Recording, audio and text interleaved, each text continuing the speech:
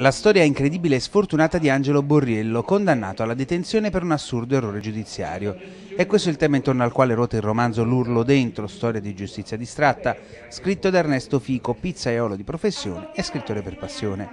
Nella sala dei baroni del Maschiangini il lavoro è stato illustrato dall'autore insieme alla giornalista Ida Palisi, all'avvocato Gaetano Montefusco, al cappellano del carcere di Poggioreale Don Franco Esposito, al ricercatore universitario Vincenzo Peretti. L'incontro è stato moderato dalla giornalista Elena Scarici. La storia descritta nel libro è realmente accaduta ed Angelo Borriello, nome di fantasia, è rimasto 106 giorni nel carcere di Poggioreale a causa di uno scambio di persona. Una vicenda che non dice solo della triste realtà del carcere, ma che offre anche uno spaccato del substrato delinquenziale di Napoli. L'errore giudiziario rimane però il perno principale intorno a cui ruota la narrazione.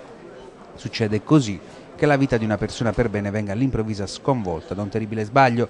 Il racconto scorre fluido e veloce, incuriosisce e sorprende, soprattutto quando Fico racconta delle percosse subite da Borriello in carcere. L'avvocato Montefusco sottolinea il valore simbolico del libro. Dimostra quello che io sostengo da tempo, che la giustizia non è un servizio come i nostri politici e come gli operatori vogliono far credere. La giustizia è un sentimento e chi subisce un'ingiustizia, chi subisce una violenza, eh, soffre intensamente.